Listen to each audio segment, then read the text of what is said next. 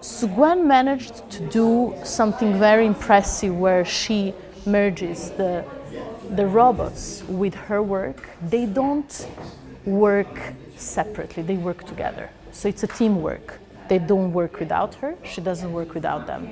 And she had over 10 years of research how to teach them and to teach them to follow her brain waves, her own ideas and her own work with Sougwen is something very different. There is another world opening, meaning where the physical art and digital art actually crosses the paths. And to be honest, I was very surprised where I come, you know, from the collector's world where they always want a canvas, a sculpture, a very timeless, um, works that they can always look at, even in 20 years, that it doesn't really loses the value and, and that impression of the art. But they loved Sougwen.